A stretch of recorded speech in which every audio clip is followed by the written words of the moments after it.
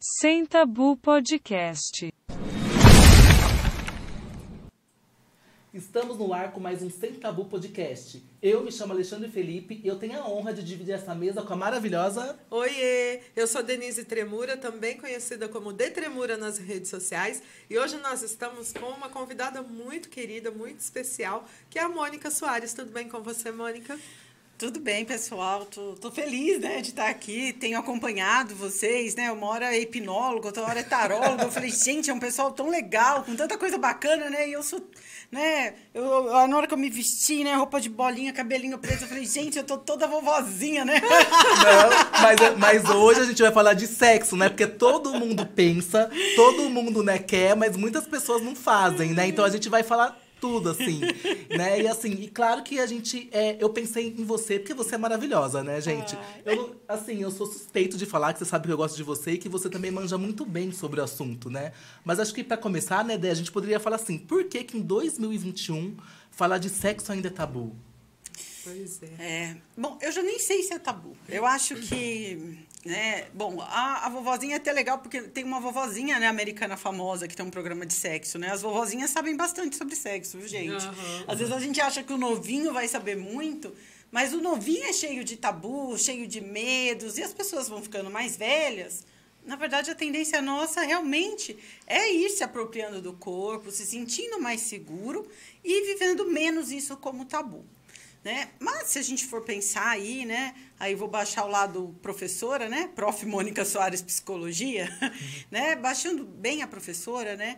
É, o Foucault ele fala que quando nós reprimimos, né? Nós aumentamos a quantidade de fala sobre isso, né? A vontade do saber, né? É, e para quem tiver interesse, né? Esse livro é o a série dele sobre a sexualidade, né, do, do Foucault, que tem o volume 1, 2 e 3, e que é muito bom, que é o da história da sexualidade. No volume 1 ele vai falar especificamente disso, que na verdade, o quando é, como se criou o tabu sexual, né? Na verdade não era. E a gente tem uma ideia que o período feudal, né, que as pessoas tinham tabu, pelo contrário, assistam as séries aí, né, do século 12, século Eu 13. vi um filme do Calígula, se eu não me engano, que aquilo É, era uma não, é. suruba. Bom, os gregos, Né? então, né? Os gregos, Meu Deus do céu. Os gregos e os romanos realmente viviam a vida, né? Mas o período feudal, na verdade, não se tinha muito tabu, né? É, os camponeses viviam a sexualidade de uma maneira muito livre, até porque no campo a sexualidade é algo muito natural. Vamos pensar, fazendo uma analogia, com o pessoal da roça aqui no Brasil. Né? Eles vêem os animais cruzarem, então, para eles, isso faz parte do que é a vida. Quando é, cria-se, né, sai desse momento feudal, cria-se um tabu sexual, porque é, surge naquele momento muitas doenças, inclusive, que tinham uma questão sexual. Se cria, então, essa questão do tabu, que o, sexo deixa de ser feito e passa a ser falado. Né?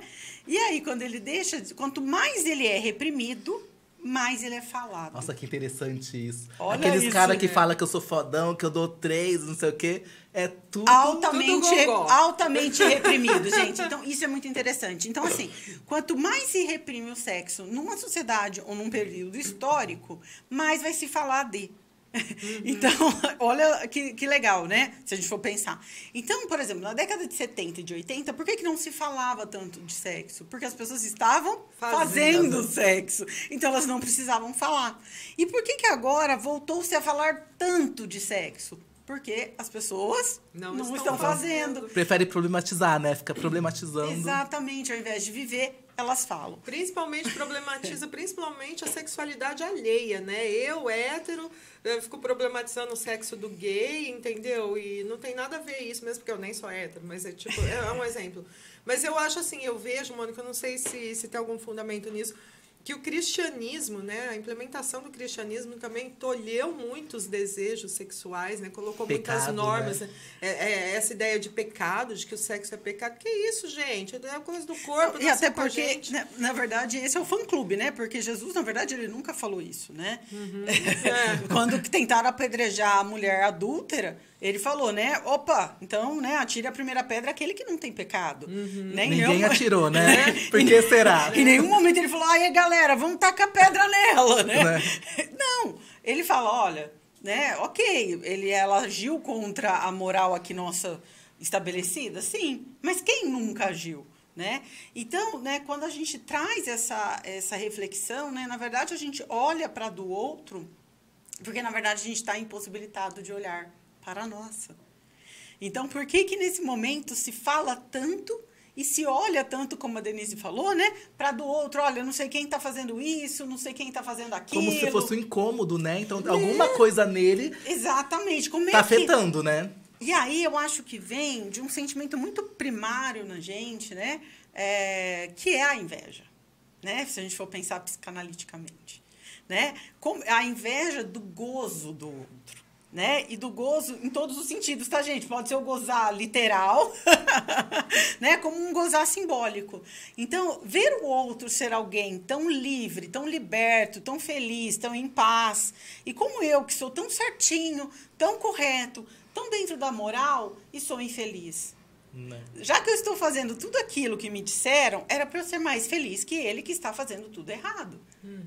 E aí desperta uma raiva danada, né? Como eu sinto raiva daquela pessoa, né? Que é gordinha, mas é feliz, né? Que se veste né, do jeito que ela gosta, se arruma, né? E é feliz e vai pular carnaval, né? Como eu sinto raiva, né? Da, daquela pessoa que consegue viver a sua sexualidade livremente, né? Daquela trans que consegue ir lá e falar, olha, realmente, né? Esse corpo não é o corpo com que eu me identifico, então eu vou me modificar. Que coragem é essa, né? Dá a impressão que tá batendo na minha cara. Como assim, né?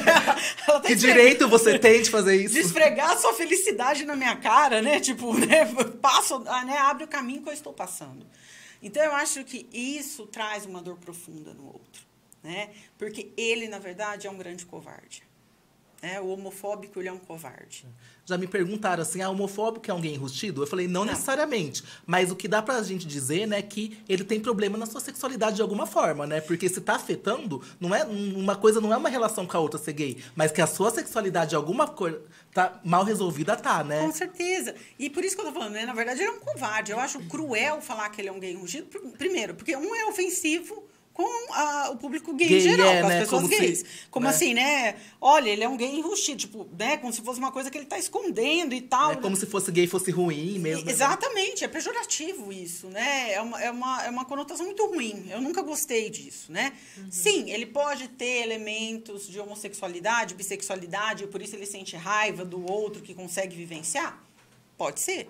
Mas, em geral, né, é, são pessoas que são covardes. Porque ele pode ser um heterossexual que gostaria de ter uma vida diferente da que ele tem e ele sente raiva de quem consegue ter uma vida livre. É só isso. É uma frustração, né? É uma ele- dor mesmo, né? Enfim, é aquela pessoa que está realmente. É, é o impotente. Esse é o verdadeiro impotente sexual.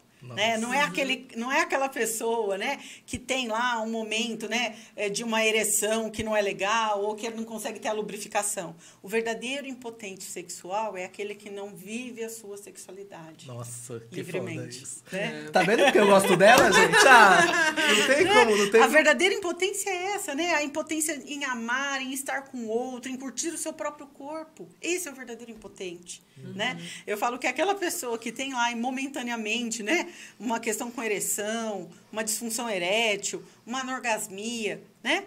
Isso daí não é nada, né? Sim, né? Lógico que é, traz sofrimento, é uma, né, é uma condição que, mas eu falo que isso não é nada porque isso é uma condição que vai modificar, né? Que é possível, né, é, ser trabalhada e ser desenvolvida, né? Já a questão de você ter uma covardia perante a vida, né? Porque sexualidade é vida, né? E você ser covarde perante a sua sexualidade, você está sendo covarde perante a vida. Você tem medo de viver.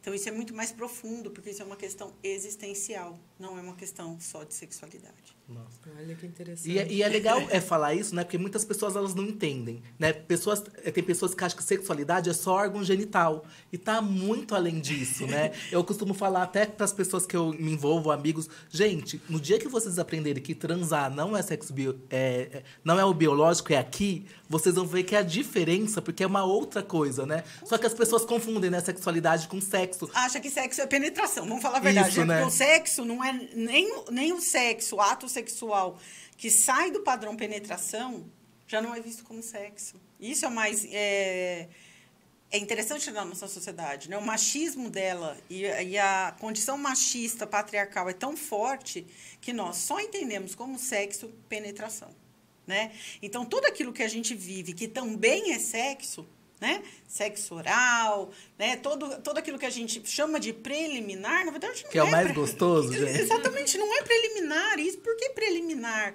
Porque o ato oficial é aquele que envolve o falo. Né? E tem muita gente que é é interessante, né? A Dê deve ter escutado. Tem muita gente que fala assim, "Não, mas como que faz duas mulheres que transam? É porque como não tem um pênis, eles não conseguem entender, Exato. sabe? É, Não é desse, dessa É. questão que eu estou trazendo mesmo, né? Que o Exatamente. sexo é considerado só o sexo penetração, né? O sexo pênis, né? Por conta dessa estrutura na nossa sociedade. Então, quando as pessoas falam assim, ah, para mim, como é ser sexóloga? Né? Eu falo que ser sexóloga, né?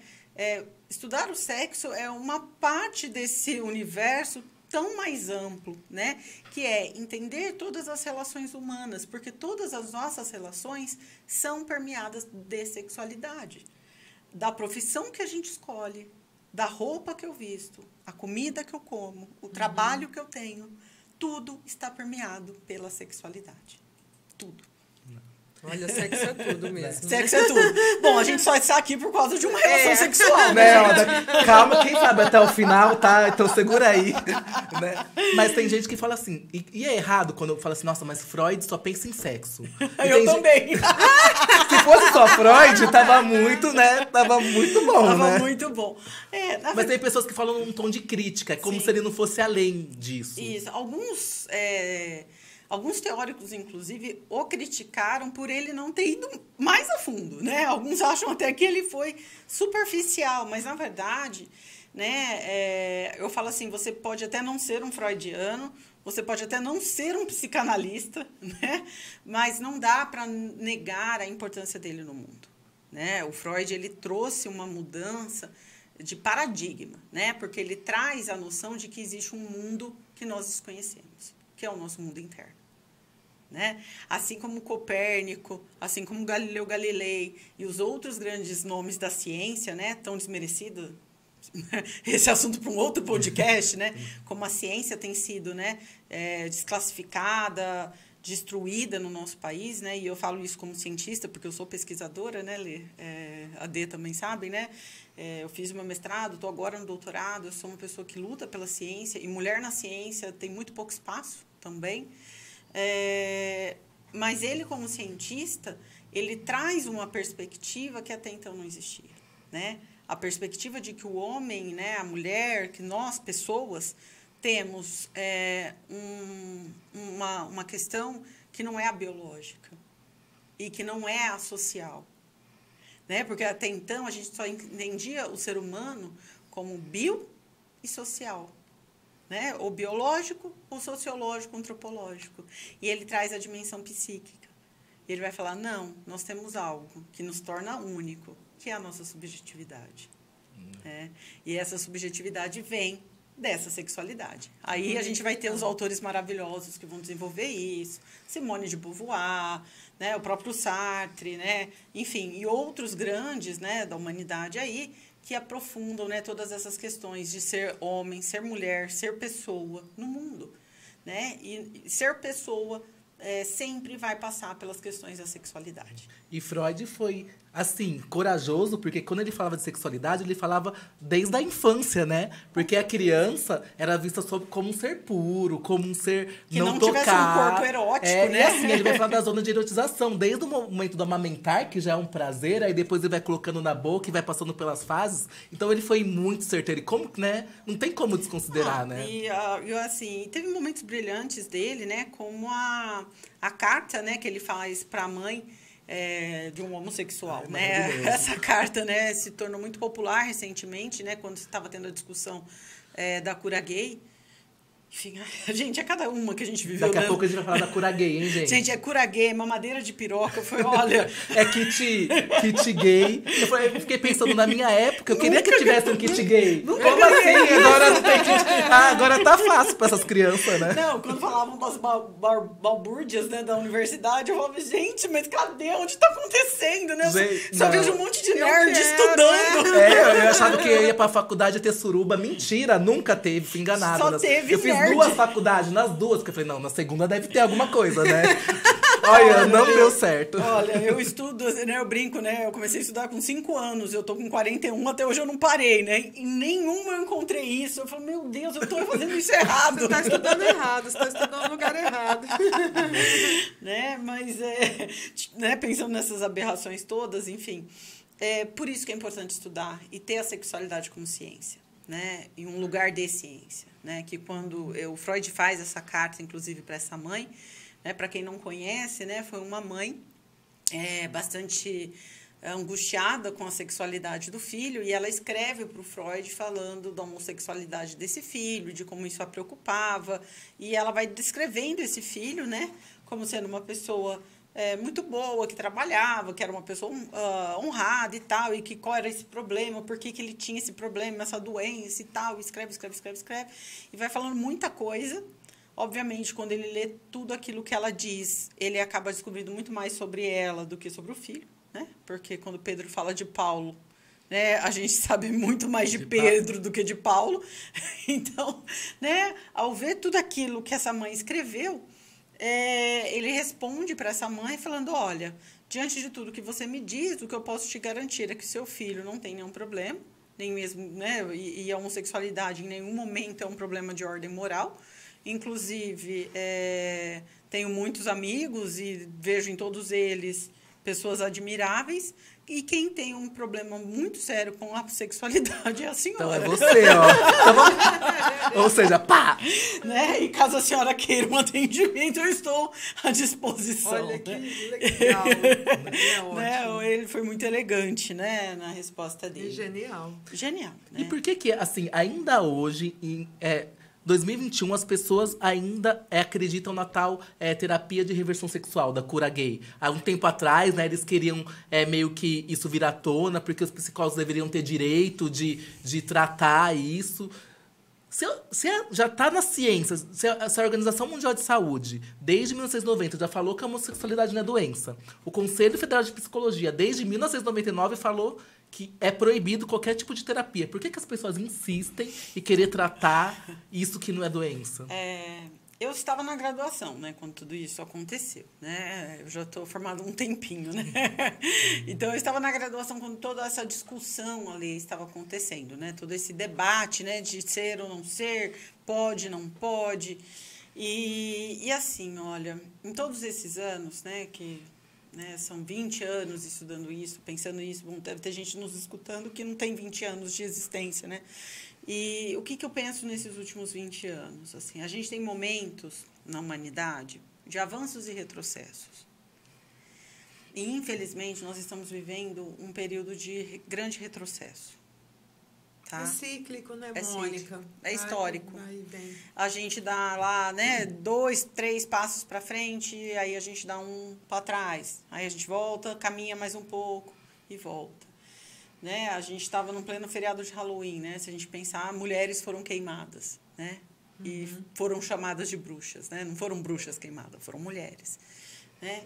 Então, acho que a gente evoluiu, sim, não dá para negar, em relação à questão da sexualidade como um todo, porque eu vi o que era 20, 30 anos atrás, né? É, eu posso te dizer que evoluiu, apesar de parecer que não, evoluiu bastante. É, né, de, eu acho que a gente teve uma adolescência num outro momento, né, de, É, é, verdade. Se a gente for pensar, evoluiu bastante, melhorou. Ah, sim, sim. Eu acho que principalmente no, no, no que diz respeito, assim, a certa... Uh, você ter que aceitar mesmo a sexualidade do outro. Era uma coisa que, é, quando a gente era mais jovem, era muito. O gay era visto. Era motivo que, de piada. E você não falava, né? É, é, é, aquela, ah, era aquela coisa assim, ai, fulano, parece que ele é meio assim. É. Você nem nomeava, era o inomeável, né? Era o primo que é meio assim, a é. prima que é não sei quem. Ai, Olha, olha, você, ai, você sabe, né? A prima lá da fulana parece que não É meio esquisito. É, não, não, existia assim, casais gays assumidos. Isso é uma coisa moderna, isso é uma coisa Isso, recente, isso, isso, é uma conquista. Isso foi uma conquista, porque não se nomeava, né? Por isso que Era as tudo pessoas... Mas, muito mas sempre existiu, porque muitas pessoas Sim. falam assim, os mais velhos. Porque na minha época não tinha disso. Ah, imagina. Agora parece que, né? A minha mãe, Né? 75 anos, fala que sempre existiu, Ah, que é? sempre teve, que agora Não, que é as que- pessoas se mostram. E por isso que quando alguém me fala assim, né, essa, essa, essa frase terrível, né, assim, ah, esse monte de letra agora, esse LGBTQIA+, o que que é isso? É muita letra. Eu falo, que bom, né, porque não se nomeava, né? Nomear já é uma evolução. Por isso que eu falo assim, evoluímos? Sim, né? Evoluímos no sentido de abandonar esses preconceitos, né, de, coisas conquistas, de conquista mesmo, de- Hoje de- você pode casar com um homem se você quiser. não, e a gente pode nomear, porque não se nomeava, né? Isso para mim é muito forte, né? Que É, ah, fulana é amiga da ciclana. Não, não era amiga, gente. Todo mundo sabia É que, ela era, que ela era mulher. casada, Aham. sabe? Ai, fulana, ai, fulana é muito amiga da ciclana. Como assim, muito amiga da ciclana? As duas moram juntas faz 20 anos. Como são muito amigas? Elas são casadas, poxa. Não, e aí, é? você- aí uma morria ainda não, não tinha nem direito da, da herança da outra, né? Porque não podia Sim. casar. Era um- Então, assim, sempre existiu. O que houve, eu acho que foi uma, uma evolução mesmo, tá? E nós agora, como evoluiu bastante, nós estamos agora num momento de retrocesso, tá? Isso que eu acho é, como pesquisadora, tá? O que eu vejo é que a gente evoluiu, sim, e que a gente teve um momento agora, a gente está vivendo um momento de retrocesso, né? De repressão, né? em todos os sentidos, né? E não é só no Brasil, esse movimento é mundial. E isso é, isso é o mais perigoso. Isso é, é do conservadorismo É. mesmo, né? É um, próprio movimento, é um movimento mundial, então nós temos que, é, que estar muito atento. Por quê? Todo momento de crise, né? E eu falo crise, crise no sentido amplo mesmo, crise de sistema, né? Por exemplo, né? ah, e a gente sabe que o capitalismo, como a gente conhece, ele está em crise nesse momento. Né? E, essa, e esse momento de crise do capital faz haver uma crise em todas as estruturas. E aí o que, que acontece? Em momentos de crise, né, imagina lá um navio afundando. Vai ter aqueles que vão falar que o navio não está afundando. Adorei o exemplo, gente. né? Vai ter aqueles que vão falar, olha, esse navio não está afundando, né? Vai ter aqueles um que vão falar assim, olha, não, vamos voltar para onde a gente partiu, porque olha, lá não tinha isso lá no porto, né? Lógico que não tinha, meu bem, você não estava no meio do oceano, né? Vamos voltar no que era antes, mas no que era antes você não estava lá, né? Você não tinha andado tudo isso. E vai ter aquele que vai olhar e vai falar, olha, a gente já andou tanto, não faz sentido voltar. Vamos nos unir e vamos tentar arrumar isso aqui para a gente terminar de chegar. Vamos cumprir a nossa trajetória. Eu acho que o problema ainda que, que acontece é que, além de a gente estar meio que afundando ou não, a gente tem um comandante louco, né? E aí, não, tem O como. nosso barco tá fazendo assim. Tá, tipo, tá. Nosso barco tá parecendo um helicóptero, né? Tá giratório, assim, né? Enfim, em torno do próprio eixo. É, mas sempre existe isso, né? Então, existem aquelas pessoas que vão negar a, a- a- o caminho, né? A, essa trajetória. Vão ter aqueles que vão regredir na trajetória. E sempre vão ter aqueles que vão falar, olha, vamos peitar e vamos, vamos seguir e vamos chegar até o final. E eu acho que quando nós fazemos isso que a gente está fazendo aqui, nós somos aqueles que estão falando, vamos até o final. Né? Eu acho que também o, do- há ainda um desespero dos conservadores, digamos assim, porque a, a liberdade feminina de fazer sexo ainda é muito recente, porque foi nos anos 70 que descobriram o anticoncepcional e mesmo muito preservativo. recente. Antes, para uma mulher, uma relação podia virar um filho. Então, a mulher pensava dez vezes antes de ir lá dar umazinha, né? Agora, a gente tem essa liberdade, só que no nosso subconsciente, na, na nossa... No, no nosso No inconsciente consciente- coletivo. inconsciente coletivo, Sim. uma relação sexual pode virar um bebê. Então, por isso, até hoje, a mulher prefere ir para a cama com uma pessoa que ela confia, seja homem, seja mulher, com alguém que ela tem uma confiança, porque sabe que a relação sexual pode ter uma consequência para o resto da vida. Sim. Então, a E, gente e até aquela educação, edu- educação de como ela foi criada, né? A mulher é sempre pra fechar as pernas e o homem pra comer todo mundo, né? Exato. E a Então- própria pandemia, né, ela trouxe uma questão também, né, do isolamento social, que vem também como isolamento emocional, né? As pessoas se fecharam. E ao se fecharem, né, fecharem em si mesmas, fecharem os grupos e tudo mais, né, elas é, realmente reprimiram as suas emoções. Né? Nós somos seres sociais. Nós precisamos do toque, nós precisamos do olhar. A falta do toque, a falta do olhar nos adoece. Né?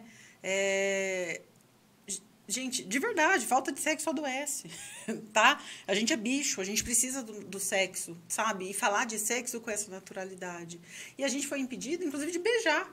Né? Quem está aí me ouvindo em casa, né? Quem está vendo aí em casa, né? Muitos foram impedidos de beijar na boca, né? No país que canta, eu quero mais é beijar na boca né? Exatamente. Ai, vontade de um bloquinho, mas enfim. É o carnaval, vem carnaval. carnaval né? no Vasco, mas gente. É... Ai, gente do céu, né? Mas, enfim, é, a gente é de um país que tem uma cultura do beijar na boca, do carnaval. E a gente do tem essa toque, do né? Toque, a gente abraçar, gosta de. A gente se abraça. Igual, igual gente... hoje eu vi vocês, aí eu fiquei pensando, vacinado. Ai, será que eu abraço? A gente será sempre... que. A gente fica meio assim, né? Não é, sabe a o gente que sempre faz. teve uma cultura de se cumprimentar, se beijando. Então, a gente, é, nós estamos todos muito fragilizados, sensíveis, né? E desejosos do toque. Uhum. Né? E isso vai acarretar dificuldades na nossa vivência de sexualidade? Sim vai acarretar e muitos já estão vivendo, tá?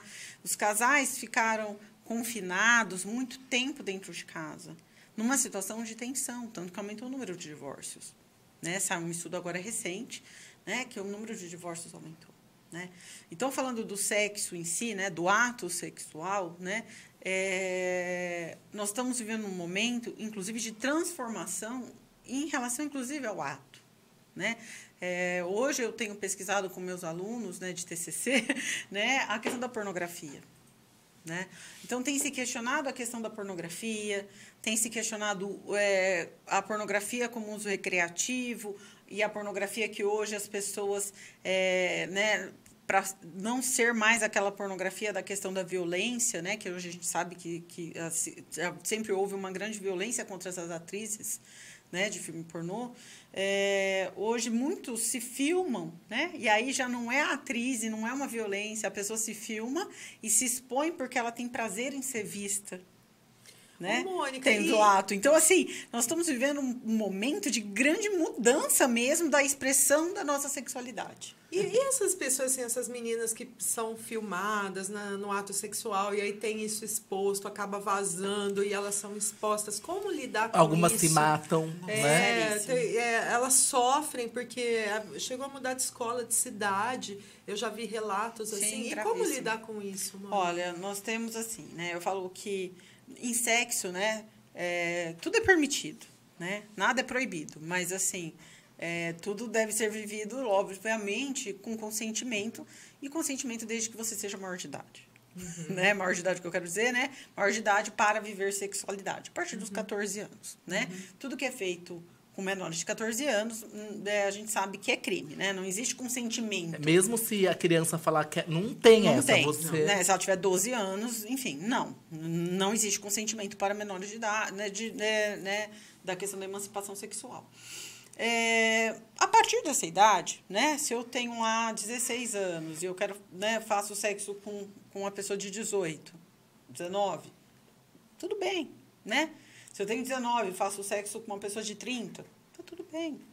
Desde que, né, é, seja uma relação de iguais, né, e de iguais num sentido amplo, né? Uhum. Por quê? Porque você pode ter uma relação de poder aí dentro, sim, e é aí que eu acho que é a grande questão. Se discute muito a pedofilia no sentido etário, né? mas não se discute as relações de poder. E é aí que eu acho que tem um problema, uhum. verdadeiramente. Né? Uhum. Porque uma pessoa pode manipular a outra e não é pela idade. Pode ser duas pessoas da mesma idade. Né? Mas por uma relação de poder. Como assim uma relação de poder? Se eu detenho os meios financeiros daquele casal, por exemplo, muitas vezes eu vou ter uma relação de poder, que é onde surgem as situações de violência, que hoje a gente entende, né? Inclusive que as mulheres sofrem muito, né? Que é a violência financeira, a violência psicológica. E o que você está falando, por que, que eu entrei nesse assunto? É um dos aspectos de violência que as mulheres sofrem que uhum. é a violência psicológica, uhum. tá? Então nós temos violência física, que essa é aquela que, né, aquela que todo mundo vê, né? Aquela que está ali, nítida, e mesmo assim ela não é reconhecida muitas vezes. A gente teve o caso agora da Mariana Ferrer, né? Que tinha todas as provas e, E ainda ela foi massacrada, humilhada. e ele foi ainda condenado bem que foi vazado, né? É, porque, não, e- tipo, porque, porque a gente ficou sabendo porque vazou, porque senão. Não, e ele foi condenado por estupro culposo, sem intenção de estuprar, né? Então, tipo assim, como assim? Eu queria foi- saber o estupro sem intenção de estuprar. Ah, eu tava lá, caiu. Não, Não, gente. eu tava desculpa. caminhando, tropecei e olha, estuprei ela, né? Tipo, Não, que absurdo, né? Enfim, mas, então esse seria né, a violência física. Nós temos a questão realmente né, da violência financeira, que são essas Patrimonial. situações patrimoniais, né, que quer o- a pessoa realmente é, usurpar né, do, do outro, do dinheiro do outro, do trabalho do outro, não permitir que o outro trabalhe, né, para deixar o Ou outro até subir- aquela também que vai lá e risca todo o carro do marido, que sabe uma coisa assim? Sim. É, é dos dois lados, né? Isso, sim, né? E nós temos a violência emocional psicológica, que o fenômeno, né, dessa questão da vingança, né, do sexo de vingança, da exposição por vingança entra dentro dessa categoria. Então, como toda situação de violência, de é, primeiro, né, a vítima muitas vezes ela vai demorar para entender que ela passou por uma violência. Então, primeira coisa, né, quando as pessoas falam assim, ah, mas por que, que ela não denunciou? Ah, mas ela demorou tanto, né? Questionando a veracidade do, da violência que ela sofreu. Mas geralmente a pessoa demora para reagir, demora para entrar na justiça, demora para reclamar, demora para fazer alguma coisa, porque justamente por conta da nossa do- da estrutura da nossa sociedade, ela exatamente por isso, ela sabe que ela vai ser julgada. Então ela tem medo de e ela demora e até pra- às vezes ela acha que ela é culpada mesmo, Sim, né? Porque exatamente. deve falar, ela é uma puta também. Quem, quem mandou que que você eu- deixar É, a é, é filmar? É, entendeu? Então ela sofre a questão da culpabilização da vítima, né? Ela tem a questão de realmente de muitas vezes não perceber. Eu vi um- uma entrevista com a Angelina Jolie, né, falando sobre isso, ela falando, né, que você é, ela contando de uma situação que ela viveu de assédio com 17 anos de um diretor e que quando aí ela saiu correndo da sala desse diretor e que ela entendeu, ah, escapei, né, da situação. E que depois de muitos anos ela entendeu assim, não, não escapei, né? Na verdade, aquilo que eu vivi já era o assédio situação. e, a- e a situação, né? Eu escapei de um estupro, mas assim, a situação em si já é uma violência, né? Então, é, é, é disso, né? Então, assim, como toda pessoa que é vítima de violência, primeiro ela precisa ser acolhida. Eu acho que, né? E as pessoas não acolhem. As pessoas atacam, agridem, responsabilizam. É, ela precisa de acolhimento. De Eu, todo eu lembro mundo. daquela é, menina que foi estuprada por 11 homens. Mano, falaram tanto dela. Olha, ela também tava no baile funk, também tava com o negocinho lá. Por que que ela aí foi deram lá? bebida pra ela, fizeram rodízio nela e deixaram ela jogada.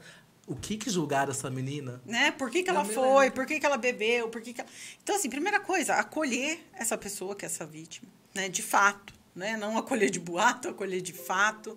É, realmente acolher, é, acreditar no- na fala dessa pessoa. Esse acolhimento é ser por, pelos pais, pela sociedade, pela escola, pelos professores, e aí sim entra a questão da educação sexual, né? Então, os professores, inclusive, debaterem isso na escola. E aí, Alexandre, eu acho que a, a questão é assim: ter ações em relação a quem cometeu a violência, tanto educativa quanto punitiva. Porque, num primeiro momento, a gente tem aquele ímpeto né, de querer só a punição. Foi na cadeia. Eu, eu confesso que eu também fico um pouco, sabe, gente, querendo matar só um Merece. pouquinho, né? Hum, Mas, enfim, Mas como Reich dizia, É. eu aprendi Reich com ela, maravilhoso. Você viu que eu não me esqueci? Ai, não dá, né? Lindo, maravilhoso. Mas, assim, não é realmente, tá vendo? Não é só ação punitiva. Nós precisamos da ação educativa, porque essa é a que a gente nunca mais esquece, né? Então, por mais violento que foi, né? E as pessoas podem ouvir a gente aqui falar, ah, isso é papo de esquerdista, né? Quer proteger Defendendo bandido. Vai bandido, Cuba. É. Ai, meu Deus, né? Ah, esquerdista, tá bom, né? Beleza, mas vamos voltar lá, né? Então, a vítima é uma mulher, eu tô falando de uma mulher que foi vítima. Então, como é que eu vou defender o bandido, né? Na verdade, eu tô falando de uma educação justamente para que esse ato não, não aconteça novamente. Porque se a gente não começar a educar diferentemente, né? Os nossos meninos, as nossas meninas, não vai ter cadeia para tanta gente. Então, assim, sim, ter o ato da justiça, da punição, é importantíssimo, inclusive para a recuperação dessa jovem. Né? Para que ela sinta realmente que, que houve uma, uma, uma questão aí de justiça, né? Porque a injustiça dói muito. Mas é importante ter os atos educativos. Né? Educação sexual já passou da hora de ser uma disciplina dentro da Mas escola, muito- não mais muitos pais e muitas pessoas vão falar, os conservadores, é que, ah, não, porque se falar de sexo na escola vai instigar os adolescentes a Gente, transarem. não tem como parar esse processo. Para começar, falando ou não de sexo, Eles vão fazer. estar Eles vão fazer muito, né? Isso chama hormônio e adolescência.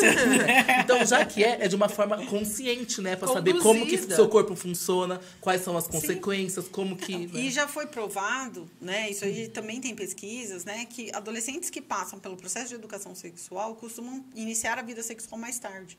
Exatamente o contrário. Porque aí você vai pensar, quer saber, né? É, será que eu, será que eu estou realmente preparado para viver isso, né? Será que eu vou dar conta dessa, de todas essas responsabilidades, né? Ele acaba não tem, porque geralmente as primeiras relações sexuais, gente, a primeira mesmo, eu tô a primeira aí da sua casa, sabe? A primeira vez que as pessoas transam, gente, 90% das pessoas são transas é, não programadas. Isso é, isso é pesquisa também, tá vendo como é que é importante ciência? A maioria das pessoas teve a sua primeira vez assim, ó, tuf, no susto. No susto. Tipo, oi, foi. Ah, tava aqui sem fazer nada. É, aconteceu, né? Não tava esperando e pluf, aconteceu. A maioria das pessoas tem se- relações sexuais dessa maneira. Então, quando elas passam pelo processo de educação sexual, elas vão entender essa sexualidade de uma maneira muito mais profunda, muito mais ampla, e aí ela vai querer ter essa, essa primeira vez como? Planejada. E como ela vai querer ter planejada, ela acaba tendo isso um pouco Mais mais tardio. Porque, inclusive, já é também estudo que adolescentes que iniciam a sua vida sexual prematuramente costumam deixar a escola mais cedo. Porque talvez tenha a questão da Também gravidez engravida, não né? Desejada. Exatamente. filho. E acaba tendo outras vivências, né? Que acabam, de fato, o quê? Desviando Atrapalhando o foco, claro. em relação aos estudos, né? Então, é, na minha própria pesquisa aqui em Rio Preto, no, que eu fiz no Jardim Paraíso, né? As pessoas conhecem, né? O Jardim Paraíso. É, Mas quem é de fora, Jardim Paraíso é um. Onde fica a zona. É. É um bairro de prostituição, né? Aqui em Rio Preto. Que, gente, inclusive essa questão. A da D já zona- vai, né, tipo? Mas, Dê, esse negócio da zona é muito interessante. A maior bairro de prostituição da América Latina fica em, em Campinas. Olha. É, é, é bem legal isso. É a maior zona, né? Já te- teve vários. é, depois a gente consegue colocar até aqui uns links, umas matérias. Consegue, você passa pessoal- e a gente coloca. para o pessoal conhecer. É muito legal, assim, muito legal, terrível, né? Mas é muito legal no sentido de muito interessante, que é o bairro do Itatiba. É, e esse bairro era um bairro afastado de Campinas, assim como aqui em Rio Preto. O que, que aconteceu? Durante o período da ditadura militar, sexo, né? Apesar das pornochanchadas e deles fazerem várias surubas, né? Nos quartéis, enfim, né? Vamos fingir que a gente não faz sexo, né? A população geral não pode fazer, só nós dentro dos quartéis. Então, o que, que eles fizeram, né? É, eles empurraram os bairros de prostituição para fora da cidade. Mas a cidade cresceu e chegou no bairro. E Isso aconteceu em todas as cidades do interior. Então, por isso que toda cidade do interior de São Paulo, no interior do país, se você chegar, por exemplo, em Araraquara, Ribeirão, tal, tal, tal, e você perguntar onde é o bairro de prostituição, todas as cidades têm seus bairros de prostituição. Então, aí na sua cidade também tem, provavelmente, um bairro de prostituição. E aqui em Rio Preto é o Jardim Paraíso. É. E conversando com as meninas, as garotas, as moças do Jardim Paraíso, o que, que eu descobri na minha pesquisa, por exemplo? É, de todas que eu entrevistei, as únicas que não tinham filhos, tá? É, não tinham tido gravidez na adolescência ou não tinham filhos, foram aquelas que tiveram educação sexual. Olha Todas as que não tiveram foram as que tiveram filhos extremamente jovens e que entraram na prostituição mais cedo. Interessante Pois isso. é. Ou seja, é uma prova de que A falta de educação conhecimento. sexual pode estar associada, associada inclusive, à prostituição. Eu acho que a falta de educação sexual só interessa a um tipo de pessoa, que são os pedófilos. Sim. É, Não, mas é o sistema capitalista também, né? Porque vai, é, vai ter mais pessoas para produzir com. É, pagar menos, né? E vai, sabe? E, as pessoas consegue precisar. e consegue submeter melhor as mulheres, né? Porque É, as porque- maiores vítimas, né, é, da falta da educação sexual são as minorias, mulheres, população LGBTQIA+, Aí vai ver que que são os negros, a maioria negra, né? Exatamente. Né? E isso foi uma das coisas que a gente levantou. Então, por exemplo, em relação à prostituição, a prostituição que é relacionada ao que a gente chama de baixo meretrício, que é a prostituição popular, né? Que é essa de Você paga trintão. do e- programa do- de 30, 40, 50 reais. Esse Não programa, que eu saiba, tá? Foi, foi sem querer que eu falei. Esse pro- Ele acertou teu valor, gente. Nossa, é. Foi o Douglas que me falou. Não que ele saiba também, ó. Ele vai, vai apanhar em casa, né? né? Mas esse o programa aí do 30, 40, 50, né? Esse programa que é o mais acessível, vamos dizer, é feito na maior parte por mulheres negras, né? Então, tá vendo? Tem uma, uma questão aí. De classe, Tem. de racial, né? Tem, envolve tudo. Por isso que eu tô falando, tudo isso está interligado. né? Então, quando você fala de educação sexual, ah, o que isso tem a ver com política? Tem tudo a ver com política. Né? Então, quando a gente faz uma opção política, a gente está fazendo, inclusive, uma opção da nossa sexualidade. Nossa, que foda isso. É como você vai viver a sua sexualidade. Então, você em casa, quando você pensa assim, ah, eu estou votando num candidato é, mais conservador, eu gosto mais disso. Gente, você pode ser um capitalista, você pode ser um neoliberal, mas você não pode ser um babaca. Não, é o que eu falo para os meus amigos. Meu, você tem todo o direito de ser conservador, só que você tem a obrigação de fazer escolhas melhores, porque as suas escolhas interferem na minha vida. Esse Bolsonaro aí que vocês elegeram, olha o que. Olha, eu tô pagando 7 conto no litro da gasolina, se- 70 conto no Pagando da mico carne. no mundo, Que que né? é Porque ele pisou, mico? ele pisou Não, no gente, pé da vergonha. Angela Merkel, gente. Gente, Ele- Vergonha alheia, e ela né? falou, só podia ser você. Isso que é o pior, né? Tipo, pra humilhar o Brasil. Né? né? Gente, é vergonha toda. Ainda bem que de vergonha ninguém morre. Ai, E olha. falar uma coisa, foi uma curiosidade agora. Você é sexóloga. Hoje você é casada, né? Sim. Mas assim, eu imagino, você conhece alguém e a pessoa fala sexóloga, eu já imagino, nossa, ela, ela deve fazer 1.500 coisas. Olha. É, você, você já passou por isso? Muitas vezes, assim, eu parei. Chegou uma, uma época na minha vida, né, que as pessoas falavam, né, eu conhecia alguém quando eu era solteira, falava, ah, o que que você faz? Ah, sou psicóloga, professora. Ah, tá, né, tipo assim, aí não, eu falava que era professora, isso era o pior, né, mas você só dá aula? Aí eu falava, Nossa. isso, não, eu não dou só aula, gente, eu passo voando na frente da sala, né, eu subo, eu subo as paredes da, da faculdade pelo lado de fora, você não sabia? Gente, não faz sentido, né? Só professora, né? Enfim, aí eu parei um pouco a ler, porque principalmente na noite, né? Que o pessoal já tá um pouco mais alcoolizado. na hora que você falava, ah, eu sou sexóloga, né? O cara falou, nossa, que sorte que eu tive agora. Né? É hoje. Era a mesma coisa que eu falasse assim, olha, né?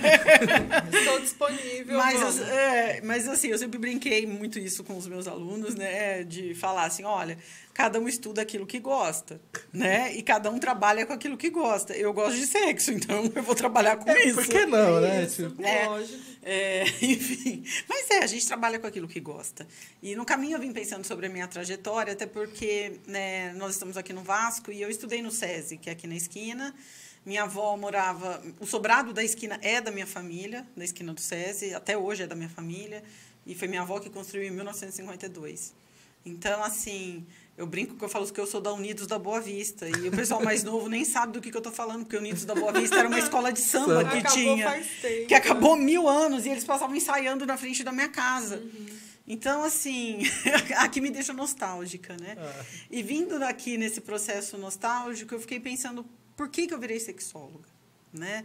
Porque naquela época eu era magra, tá, gente? Então, assim, eu era magra, branca, hétero, né? Teoricamente, né, eu estaria dentro da- do grupo... é, Privilegiado. privilegiado, né? Assim, eu falo teoricamente porque, na verdade, não, né? Eu sei que tem um monte de outras questões que não me deixam ser privilegiada, mas, enfim. Mas tenho muito privilégio, sim. Né? É, E aí, eu fiquei pensando, por que, que eu virei sexóloga? Mas foi num trabalho da faculdade, olha como é que a, a educação e os professores são fantásticos na nossa vida, né? E que era sobre psicopatologia, e eu caí para falar sobre parafilias, que são exatamente as doenças da sexualidade, que aí são as doenças mesmo, né? Necrofilia, é, são as doenças pesadas, inclusive, né? Zoofilia. E aí eu fui estudar tudo isso, né? As filias da vida, né? Necrofilia, zo- zoofilia, pedofilia. E aí, gente, tem um monte de filia que é uma mais louca que a outra. que você nem imagina que acontece. É, tem a amálgamafilia, né? O cara tem tesão em estátua. Esse não pode ir no É, museu. Esse é fácil de resolver, vai comprar Estátua, uma, estátua de cimento, acabou. gente. Tá é nesse nível, tá? Nossa. É, é umas coisas assim que a gente nunca. Tem uns que é sobre pessoas que estão engorduradas, assim, sabe? Tem uma que é bonobofilia. As pessoas têm é, tesão em bonobos, macacos. Ai, tadinho. É, é, não, mas não. Ah, sim. É, Não, é, não, não, não pratica, não para praticar, mas exatamente. é- é, eles se vestem de Entendi. gorilas, eles têm tesão nisso. Tem pessoas que têm é, parafilias relacionadas à pelúcia, eles gostam de roupa de pelúcia. Tem uns que têm sobre a questão de rabo, por isso que no sex shop tem- sempre tem aqueles rabos, né? Gente, o ser humano é rabo. muito ser humano complexo, é né? muito- Muito Doido. criativo, gente. Olha, se você for pensar as parafilias, assim, tem uma lista gigantesca e são, assim, muito interessantes, né? E aí, quando eu fui estudar isso, eu falei, nossa, mas tem toda essa variedade de comportamento sexual. E aí, assim, coisas que realmente né, me surpreenderam. E eu fiquei encantada. E aí eu fiz um, um bom trabalho e esse- essa professora, na época, lançou um olhar, né? É, um olhar muito reforçador, positivo. Eu não sou é, comportamentalista, tá, gente? Mas, assim, foi um reforço muito positivo. E eu realmente falei, nossa, eu gosto de estudar isso. E aí comecei todos os trabalhos da faculdade é, direcionar para essa temática. Então, por exemplo, eu ia estudar criança, eu fui estudar a sexualidade da criança. Aí eu ia estudar não sei o quê, eu fui estudar pedófilo. Eu ia, tudo eu ia fazer de sexualidade. Aí eu, eu ia estudar questões de gênero. Então, eu fui fazendo já na graduação. Então, para quem nos ouve aí e tem vontade de ser sexólogo ou, quer estudar sobre isso, então eu fui já na graduação direcionando a minha caminhada para essas questões, né? Durante toda a graduação. Então, quando eu cheguei no último ano, eh, eu fui atender terapia de casal, que na minha faculdade tinha essa possibilidade, inclusive, justamente para desenvolver mais essas habilidades. Eh, e aí, assim que eu me formei, eu fui fazer uma pós né, em sexualidade, uma pós lato senso, eh, que era em clínica mesmo, sexual, clínica mesmo, tá? Sexualidade clínica, onde eu fui trabalhar realmente as questões da sexualidade no ambiente eh, da clínica psicológica. Então, trabalhar as questões, por exemplo, igual eu falei, da disfunção erétil, anorgasmia, casais que, né, ou transam demais, ou tran- transam de menos, casais que... É, casais que transam de menos é, é normal, tá, gente? Quer parar de transar, casa. Mentira. Verdade, né? Mas, né, Enfim, os que transam demais, os que transam. Mas transar demais pode ser um problema, viu, É, gente? não, é tudo que pode é ca- demais. Pode causar descompassos no É bom casal. ter um equilíbrio. né? É, enfim, né? Ou aqueles que né, queriam ter uma prática e o outro é, não quer, então é, um quer fazer swing, o outro não quer, ou ambos querem fazer swing, ou fizeram swing e não gostaram do swing e agora estão brigando, enfim. Ou seja, Tem de tudo. Tem de tudo, né? E, e aí eu fui aprender a trabalhar com essas questões, né? É, trabalhar com as questões é, do é, casais sadomasoquistas, inclusive fazer contrato sadomasoquista, porque na verdade existe um contrato que se faz entre o casal é, do que pode ou não fazer e se cria uma palavra. Isso é dica para vocês, gente, né? Uma palavra que, que é a palavra que é para parar, né? Você vai criar uma palavra que você não falaria durante o ato. é, não pode ser para, para. Porque É, isso o tem O que ser... abacaxi. É, Você não isso. vai falar Isso. abacaxi no meio da transa. então, Isso, você você não vai falar piuí abacaxi, né? Sabe? não, né? Então você vai pensar lá, vocês vão criar um- uma palavra código, código, uhum. que caso você. É, tipo, ai meu Deus, ai meu Deus não pode, porque ai meu Deus todo mundo fala, né? Todo mundo chama Deus nessa hora, não sei porquê, mas enfim. Culpa. né? As pessoas costumam chamar Deus nesse momento. Mas, né, você vai criar lá uma palavra código para que realmente pare aquela prática né, naquele momento. Você cria os pontos tabus do casal, né? Que, olha, você pode fazer o que você quiser, mas você não pode encostar na minha orelha, né? As pessoas podem achar estranho, É, né? mas é o limite da pessoa. Mas, né, tipo assim, né, pode colocar em todos os buracos, menos na orelha. É, na orelha não pode, é o limite dela, né? Enfim, aquele lugar para ela é sagrado, né? O teu corpo tem os seus próprios Nossa, é tabus. muito interessante, né? É muito interessante. E uma coisa que você falou que. Porque assim, pra quem não sabe, ela foi minha professora na faculdade, tá, gente? e você falou desse olhar acolhedor. E eu e não sei, também é uma coisa que vai de um pro outro. E eu percebia muito, por exemplo, o seu olhar acolhedor comigo e com todo. Você tem essa. Preocupação. Essa preocupação de ser assim, tipo, porque era muito incrível. Tanto é que meu TCC, quem que foi minha orientadora? Ah, Mônica. Eu fiz um TCC que era. é, não sei se eu lembro, é Evolução, é, Crescimento e Desenvolvimento de Crianças Adotadas por Adotadas. Casais Homoafetivos na visão freudiana. Eu queria comprovar que a orientação sexual e a identidade de gênero dos pais não influenciava na sexualidade Dos da- filhos. dos filhos, né? E aí eu fiz todo um levantamento. Falei, quem que eu vou chamar, gente? Não tem outra pessoa. E a Mônica foi brilhante. Ela fi- ficou metade do meu trabalho, que ela teve que sair da faculdade, eu quase morri. Imagina, eu tô na metade do meu TCC, falei, ah, Aí eu mas- troquei, né, de, de, de de faculdade. faculdade, mas aí veio uma outra Uma que era de- colega. e foi maravilhoso assim. E que terminou isso divinamente bem, né? Seu TCC foi Foi maravilhoso. 10, eu fiquei né, ach- achando. Parabéns. Mas assim, mas é, é- eu acho que essa preocupação do- do- dos professores, dos educadores, eu acho que é fundamental, né? A gente sempre vai lembrar de um professor da época da escola que você fala, não, esse, né? Porque foi o jeito que talvez que ele olhou. E, tam- e também não vamos julgar os professores também, porque tá tão difícil também, né? É, mas é- Essas é- demandas Mas eu mais- acho que a questão do olhar que você está falando, eu acho que é em todas as relações. Né? Eu, né, trazendo até como sexóloga. É da nossa relação como professor, é nossa relação como amigos, é nossa relação com, com o nosso terapeuta, com o nosso psicólogo. Esse olhar que nos acolhe e que nos diz, eu estou com você. Né? Eu acho que um olhar não julgador, né? e quem dizia isso era o, o Carl Rogers, né? um dos grandes teóricos da psicologia também, que ele fala isso, né? Esse amor incondicional que o professor pode é, dedicar ao seu aluno, psicólogo, ao seu né, paciente, ao seu cliente, ele é fundamental para que as pessoas vivam bem. E na sexualidade, aí é uma outra dica que eu dou, né? Quer né, levar sua parceira, seu parceiro lá, né? A, a loucura, né? Super loucura. Ai, quero deixar essa pessoa louca, né? Não fica pensando que é a super ato que você tem que fazer, né? A coisa que mais você tem que fazer é olhar verdadeiramente para a pessoa que está na sua cama, né? Que pode ser um carro, um muro, enfim, qualquer lugar, né? A cama é simbólica, tá bom, gente? Mas é, é esse olhar, olhar verdadeiramente para o outro, escutar verdadeiramente essa pessoa que está com você. O que, que ela está dizendo que ela gosta? O que ela está te falando que ela gosta? O que ela está mostrando com o corpo dela que ela quer?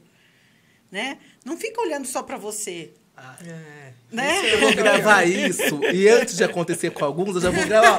Assiste isso aqui, por favor. Né? Porque tem uns que só quer meter. Não precisa perguntar gozou no final, né?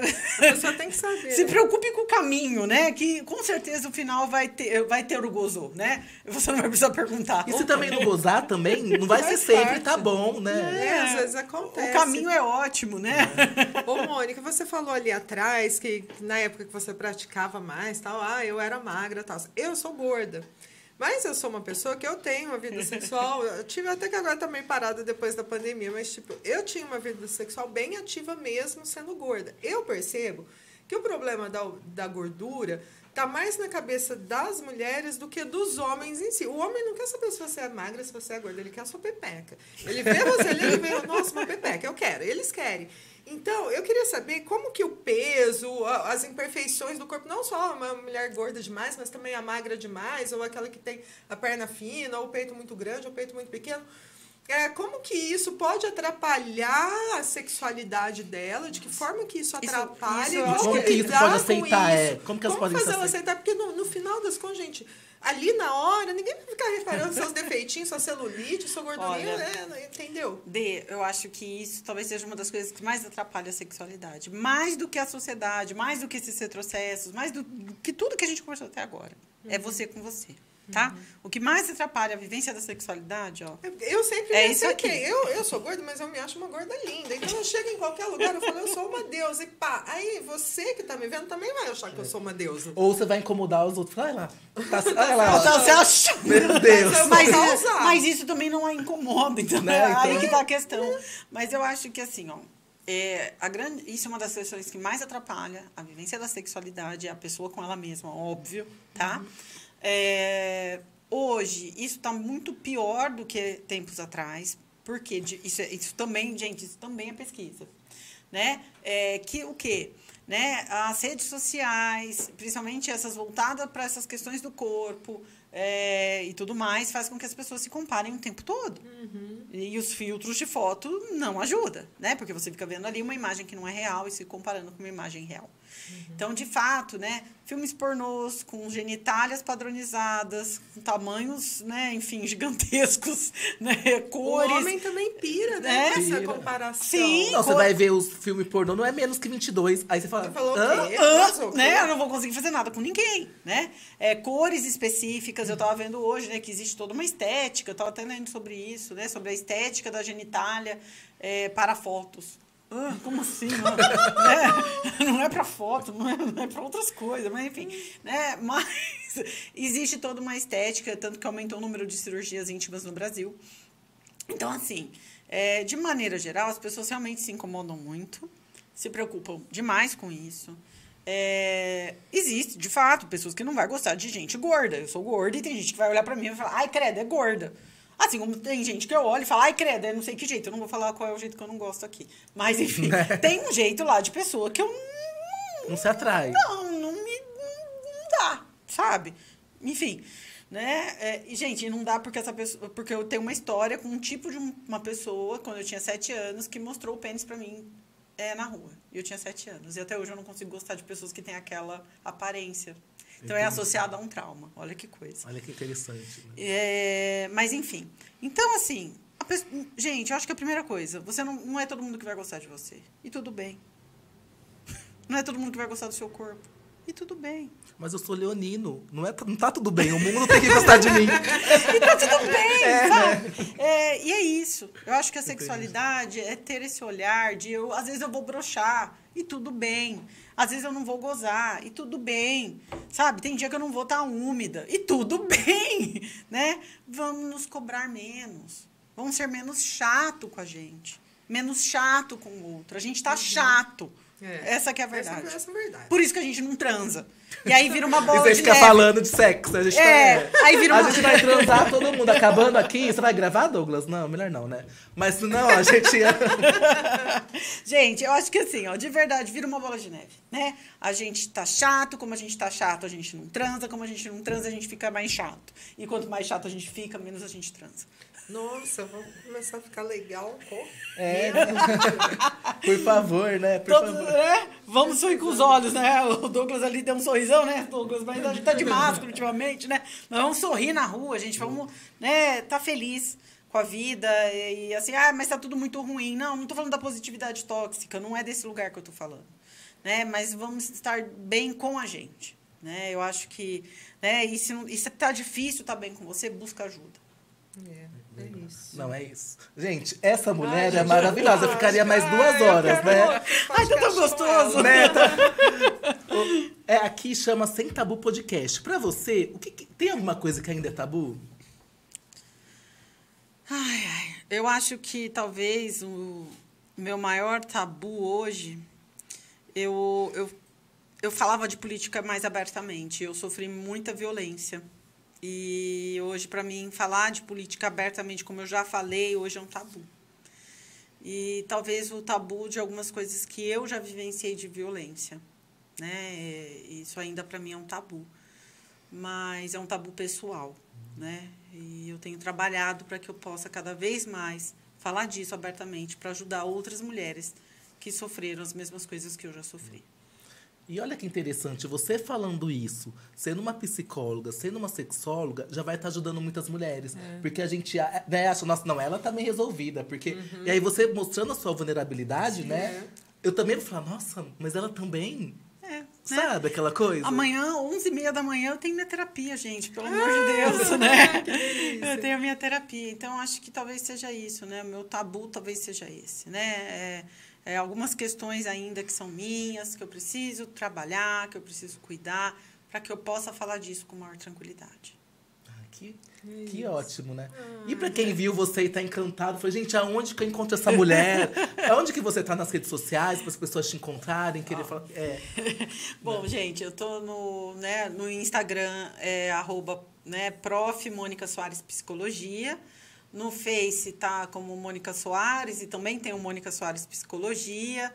Ah, em qualquer movimento contra o governo, você também vai me encontrar nas Gente, ruas. ela foi uma das organizadoras do Ele Não aqui da cidade. Ela que foi lá, ela tava lá na frente. Ela tava lá na linha de Gente, frente. foi de madrugada, eu e a Thalita. Começou comigo lá em Campinas, na Unicamp, assim, falei, Thalita, eu fiz um negócio e eu te pus junto. Ela falou, o quê? Eu falei, mandei um negócio pra polícia militar pra gente organizar o ele não e tá, tá, tá, tá, tá. E foi um Eu sou sucesso. Sucesso, tava lotado. Sou maluca! Três Gente. horas da manhã eu mandando pra ela coisa assim. E deu muita gente, foi muito. Foi E muito foi lindo. foi E foi lindo, né? E Foi. você acha que a gente se livra desse Bolsonaro ano que vem? Ah, com certeza. também. Eu tenho fé, né? Eu, eu confio na rapaziada. Também, na juventude. A juventude vai É, dar eu boto força. fé. Ou destino, né? Igual porque a gente destino. entrevistou a semana passada, pra quem não viu, um tarólogo. E segundo o que ele disse, ó, não estamos rogando praga. Ele falou que em todas as leituras o Bolsonaro não chega até o fim do mandato vivo, porque tem doença aí. Fico triste E ele- com uma notícia dessa. E ele. Não, mas eu fico triste porque eu queria que ele pagasse tudo o que ele fez, né?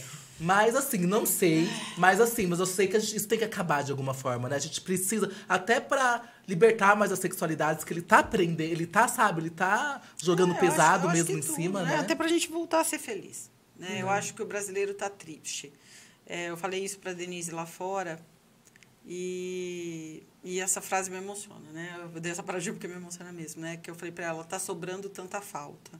É. Nós estamos vivendo um momento que sobra muita falta. E quem falava isso é um amigo meu que chama Cássio Castro. E ele era da, da TVT, inclusive, e ele já faleceu há alguns anos. E ele foi meu melhor amigo desde a primeira série. E, Cassinho, onde você estiver, tá sobrando muita falta, viu, meu amigo? Ai, eu até arrepiei Ai, que aqui. bonito. É, tá sobrando muita falta. Ah, obrigada, Mônica. Tem pela mais sua alguma presença. coisa, assim, que a gente não perguntou, que você gostaria de estar falando? Que a gente que falou de tudo, né? Eu acho que a gente falou de tudo, né? Não, eu acho que não, acho que, sei lá, acho que é isso. Acho que né? vamos, vamos amar mais, né? Vamos- A gente queria agradecer a sua presença. Muito obrigada. Ai, foi Obrigado, assim. Eu tinha certeza que ia ser maravilhoso, assim. E a gente continua na luta e a gente vai se encontrar. Ai, e... vamos. E, eu, gente, o que vocês precisar sempre, enfim. Somos a resistência. Né? E você que tá aí, que se emocionou, que viu, que assistiu, que ouviu, é, curte, compartilha, manda pro vizinho, manda pros grupos. E toda quarta-feira, às 20 horas, a gente tá aqui no canal da Detremura pra falar de um assunto imperdível, tá bom? Muito obrigado, gente. Obrigada, Até mais. gente. Tchau. Não esquece o joinha, compartilhem. Beijos.